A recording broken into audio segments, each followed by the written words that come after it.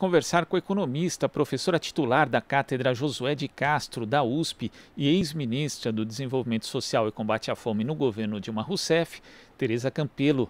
Bom dia, Tereza. Bom dia, bom dia, Glauco. Bom dia a todos que nos assistem nesse momento. Obrigado pelo convite. A gente que agradece sua presença aqui no Jornal Brasil Atual para falar de um tema que é muito importante. O presidente Jair Bolsonaro enviou na segunda-feira ao Congresso Nacional uma medida provisória que revoga o programa Bolsa Família e cria o Auxílio Brasil. Esse programa entra em vigor em 90 dias e prevê nove tipos de ações de transferência de renda por meio de benefícios que, assim, é, na verdade, essa proposta, Tereza, não estabelece os valores a serem pagos ainda, o número de famílias que vão ser beneficiadas e também a fonte de financiamento. Em linhas gerais, como é que você viu essa proposta?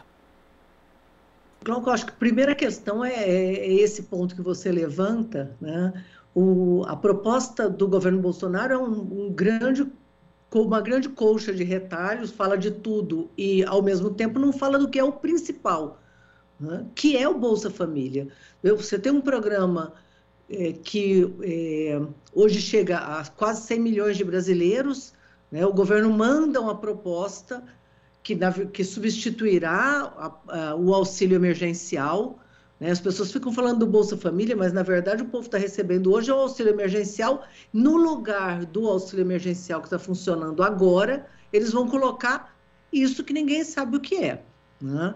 Se o que o governo diz é verdade, ver... nós vamos ter uma redução gigantesca do número de beneficiários, cairá de 39 milhões para 16 milhões ou 17, eles mesmos não sabem ainda quanto que vai ser, mas independente se é 16 ou 17, são 22 milhões de beneficiários que serão excluídos. Então, essa eu acho que é uma informação muito importante para a gente é, iniciar o debate. Segundo é quantas pessoas vão receber, que também o projeto não tem.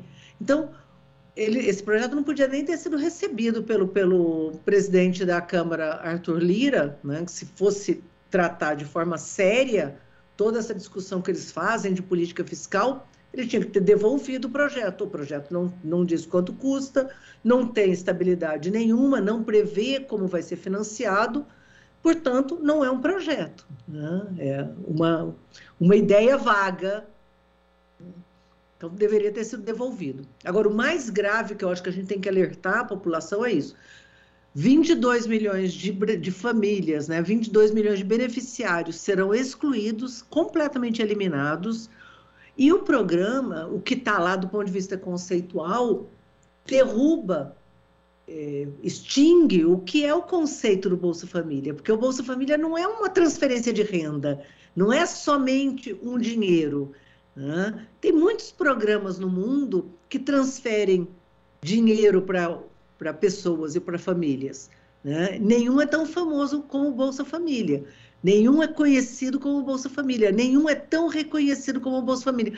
Por que o Bolsa Família funciona tão bem? Porque o Bolsa Família virou uma referência no mundo. Né? E aí não é um programa do PT, não é um programa do Lula. Hoje já é um patrimônio nacional, né? tem que ser tratado como um patrimônio nacional. Eles destroem as quatro grandes questões que sustentam o Bolsa Família. A primeira delas, né? o cadastro único, que não é uma plataforma digital, não é um banco de dados.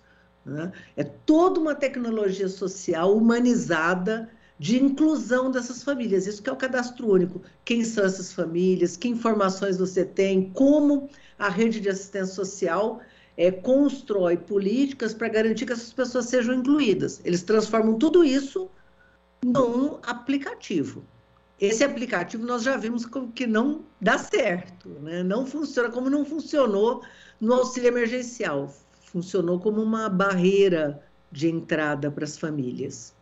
Então, é, acaba com a participação real do Sistema Único de Assistência Social, elimina as prefeituras, não negociou com os prefeitos, não negociou com os 5.575 municípios.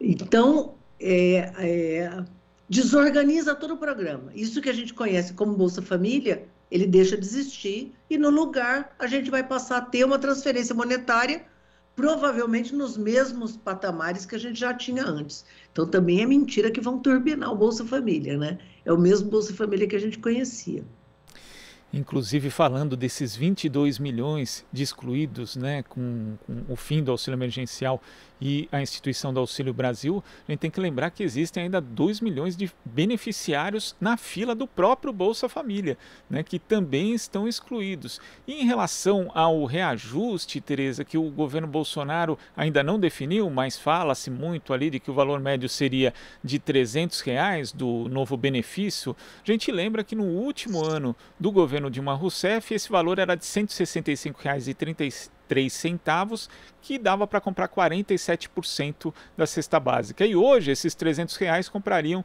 os mesmos 47% da cesta básica. Seria uma atualização diante da inflação, mas ainda assim que não abarca, por exemplo, o custo da energia elétrica, outros custos dessa inflação que tem atingindo principalmente as classes mais pobres. Isso mesmo, Glauco. Olha só, é, é, muito importante atualizar o Bolsa Família. É fundamental atualizar o Bolsa Família e garantir que não só esses 2 milhões de brasileiros, de famílias, né, quando a gente fala 2 milhões de famílias, provavelmente nós estamos falando né, de 8 milhões de brasileiros, né, me imaginando aí uma média de quatro pessoas por família. Então, 2 milhões de pessoas já estão na fila. Então, é importante incluir essas famílias e é muito importante atualizar o valor. Então, nós estamos defendendo a atualização do valor do Bolsa Família. Agora, isso que eles estão falando que é turbinar, não é turbinar nada, é atualizar o valor que estava congelado. Então, você falou muito bem, se a gente pegar o valor que era pago no governo da presidenta Dilma e atualizar usando o preço dos alimentos para hoje, a cesta básica para hoje, o valor é o mesmo que eles estão falando, aí perto de 300 reais. Né? Agora, a grande questão é que em 2014 a gente tinha a menor taxa de desemprego da história. Né?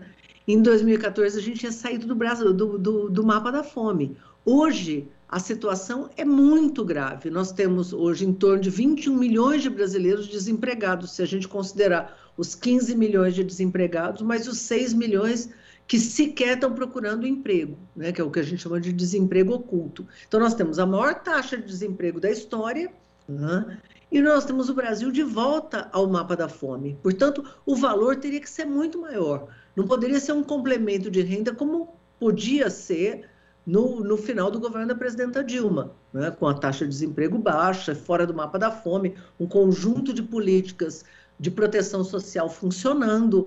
Né? Hoje, você tem uma situação oposta. Então, o valor teria que ser muito maior. Então, a gente continua defendendo que essas famílias tenham acesso ao equivalente a uma cesta básica, porque nós estamos numa situação muito crítica. Né? Então, a luta pelo auxílio emergencial, os 600 reais, ela tem que continuar.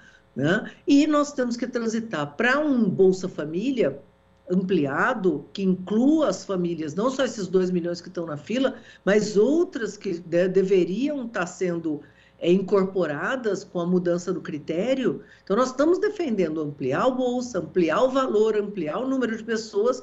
Agora, o que o governo está fazendo não é isso. Né? Então, é mais uma fake news desse governo. E Tereza, quando a gente vê a proposta, né, existe ali o estabelecimento de nove modalidades distintas de benefícios que não são muito transparentes, não existem ali critérios evidentes para, como não tem valores também não dá para saber como vai ser a composição disso, né? Tem um núcleo básico de três modalidades e depois as demais. E vendo as demais modalidades, a gente vê ali que tem um auxílio esporte escolar e algo chamado Bolsa de Iniciação Científica Júnior.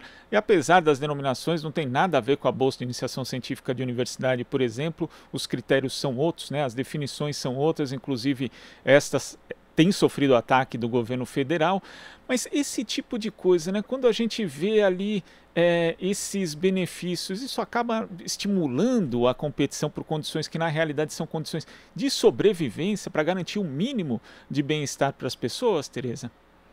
Olha, é, eu acho que tem um erro básico né, né na concepção né, do programa, que é pega, tentar fazer com que o Bolsa Família se transforme nesse, né, nessa, esse monte de penduricalho, deixando o Bolsa Família muito mais complexo. Por que, que o Bolsa Família funciona tão bem?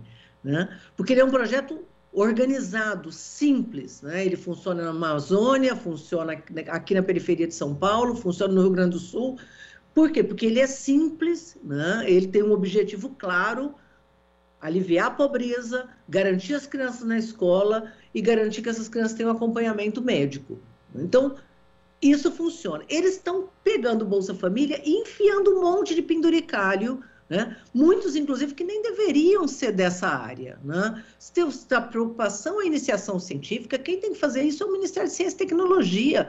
Para quem enfiar essa agenda junto com Bolsa Família, tornando o programa completamente complexo e inexequível. Então, isso é, o, o, eu acho engraçado que esse pessoal que vivia falando em eficiência, né, o, discurso né, da, da, da, direita no Brasil é um discurso de, de é, cuidado fiscal né, para garantir que as coisas, que, que, que, a despesa não seja alta, que tenha responsabilidade fiscal e a questão de que as coisas funcionem. Esse, do, esse projeto, do jeito que foi apresentado, ele não tem as duas coisas. É uma irresponsabilidade do ponto de vista fiscal, que não diz de onde vem o dinheiro, não garante sustentabilidade. Né? Quando diz, diz que o dinheiro vem das privatizações, ou seja, não é um dinheiro continuado. Né? Você não pode construir um programa para 100 milhões de brasileiros e dizer que esse dinheiro é um dinheiro que está sendo que vem da desestatização, né? Quer dizer, não é um dinheiro que continue. E por outro lado, desorganiza a política pública, ela não vai funcionar. Então, eu acho que eles não deveriam ter criado esse monte de penduricalho, isso vai atrapalhar o Bolsa Família, nenhuma prefeitura vai conseguir organizar isso, né? Isso não é típico do Ministério da Área Social, ficar cuidando do, de, de agenda de iniciação científica, e os outros auxílios, Glauco, que tratam é, do que eles chamam de inclusão produtiva, é uma aberração, joga no colo do pobre a culpa e a responsabilidade por ele ser pobre. Né? Tem um dos auxílios, por exemplo, que diz que quem arranjar um emprego formal vai ganhar um plus, vai ganhar um valor a mais. Né? Como se a culpa de estar desempregado ou a culpa de estar na informalidade fosse do, do, do, do chefe de família ou da chefe de família, quando na verdade o país nem tem emprego. Né? Então joga a responsabilidade, a culpa de ser pobre no pobre, quando na verdade não é a agenda social que tem que gerar emprego. Quem tem que gerar emprego é esse governo que não tem política industrial, que não tem política de geração de empregos, que não organizou a economia, que não dá oferta qualificação profissional. Então, é, você joga dentro do Bolsa Família um conjunto de políticas que, na verdade, deveriam ser executadas pelo Ministério da Economia, pelo de Ciência e Tecnologia e assim por diante. Então, é um erro atrás do outro. Essa, uma, essa coxa de retalhos não vai funcionar. Uhum. E é uma concepção, uma mudança de concepção muito grande, Tereza, porque como você mencionou, tem a questão do cadastro único e existia ali, existe com Bolsa Família uma integração, a possibilidade das pessoas, justamente por conta das condicionantes ali, terem acesso à saúde pública, terem acesso também à educação combatendo a evasão escolar, mas o que o governo faz em algumas, com essa proposta em algumas modalidades é a integração justamente com o setor privado, né? Porque o governo quer permitir que até 30% do valor do benefício possa ser descontado na fonte para abater empréstimos consignados. Então, de fato, a alteração na concepção do Bolsa Família é assim seríssima, né? É, praticamente deixa de existir. É, o Bolsa Família, como a gente conhece, desaparece. Não, não, como eu disse, não, o Bolsa Família não é um cartão bancário onde a pessoa vai lá e saca o dinheiro. Que, aliás, nem isso a gente sabe como vai funcionar. Né? O governo está dizendo que vai recolher todos os cartões, ou que vai transformar numa conta digital, para uma população, que é uma população que tem um nível de dificuldade de, de se relacionar com o sistema financeiro, com as tecnologias ainda alto. Né? Então, ter que trabalhar com aplicativo. Tem gente que fala assim: ah, não pode ser aplicativo porque as pessoas não têm internet. Não é só isso. As pessoas não têm internet, as pessoas não têm um telefone inteligente, com, né, com, com... as pessoas não sabem lidar com essa ferramenta. Né? Então, muitos não conseguem preencher As pessoas às vezes precisam de ajuda para entrar no aplicativo e seguir aquele ritual todo do aplicativo. E é, isso já serviu no auxílio emergencial como barreira de entrada. Né? Então, não é só não conseguir. É, vou, vou, muita gente ficou fora do auxílio emergencial. Então, vamos lembrar do auxílio emergencial. E por falar no auxílio emergencial, olha, olha o processo de exclusão que esse governo já gerou. Começou com 68 milhões de pessoas, passou para 60, passou para 50, passou para 39 e agora vai cair para 16. Né? Então, são 22 milhões de brasileiros afora, todos aqueles que já ficaram fora. Né? Então, nós temos aí quase 50 milhões de, de, de, de, beneficiários que foram excluídos, e nessa última leva, 22 milhões. E uma parte sequer entrou. Né, Glauco? Esse, esse governo conseguiu ter um erro de inclusão gigantesco, muita gente ficou fora, e tem um erro, né, um erro de, de, exclusão gigantesco, muita gente ficou fora, e um erro de inclusão gigantesco, porque a gente sabe que um monte de gente recebeu o auxílio emergencial e nem deveria receber. Né? Então, isso também eles estão escondendo. Né? É, tem lá os dominguetes da vida que receberam, um monte de dondoca que confessam que entraram no aplicativo só para se divertir. Então, está claro que essa metodologia do governo não funciona. Eu acho que a gente poderia dizer o seguinte, para resumir: eles estão trocando o certo, um programa que funciona há 18 anos, reconhecido internacionalmente, funciona bem, é o melhor, o maior, o mais qualificado e o mais elogiado programa de transferência de renda do mundo. Então, eles estão transformando, estão, estão pegando uma coisa certa que funciona, jogando na lata do lixo e trocando por uma aventura. Né? Então, é trocar o certo por uma aventura, só que essa aventura envolve 100 milhões de pessoas. Né? Vai envolver é, 30 milhões de famílias, os dentro dos, dos 39 milhões de famílias, das famílias que vão ser incluídas e as famílias que vão ser excluídas. Então, é, é muito grave, né? nós temos que estar alerta e eu assim, assim, aproveito aqui a oportunidade de estar falando com vocês que conversam com amplos setores da classe trabalhadora, organizada, não organizada, que tem um público é, muito ativo, que as pessoas não só se interem do que está acontecendo, né, mas que se movimentem, nos ajudem a divulgar e a impedir que, que esses avanços é, sejam, é, que essa destruição do Bolsa Família implique mais um retrocesso gigantesco na, na rede de proteção no país. Vamos acompanhar a tramitação dessa proposta e esperamos que o Congresso Nacional tenha responsabilidade ao apreciá-la. Tereza, queria agradecer demais a sua participação aqui no Jornal Brasil Atual e até a próxima.